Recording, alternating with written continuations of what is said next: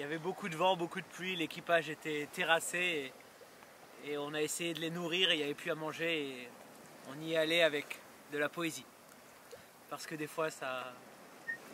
Des fois c'est plus important que tout le reste. L'homme n'est pas qu'un estomac ou une paire de couilles, en dépit de ce qu'on dit. Il est aussi une paire d'oreilles. Et ça faisait ça. J'ai croisé le soleil cette nuit. Ce vieux con, dans sa décapotable, il allait au bistrot. Debout sur l'aileron de l'auto Rubicon, je l'ai accompagné. Mes démons ancestraux nous suivaient dans un nuage d'hydrocarbures, semant à nos trousses leurs rires imbéciles. Jamais une équipée n'eut aussi fière allure, puisque, de zinc en zinc, nous enflammions la ville, et tous les attablés, tous les piliers de bar rejoignaient de bon cœur l'ivrognerie divine.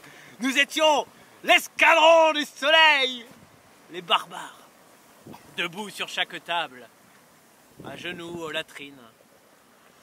Quand dans l'estaminet la était à sec et que nous désertions jusqu'à l'endroit suivant, le sol derrière nous était jonché de mecs, de femmes affalées, de bougres, d'écuvants. Mes démons, eux non plus, ne tinrent pas l'alcool et je les vomissais dans un coin de verdure. Ivre mort, le soleil explosa sa bagnole. Par chance, il n'avait rien que des égratignures. Je l'ai porté chez lui, juste après l'horizon.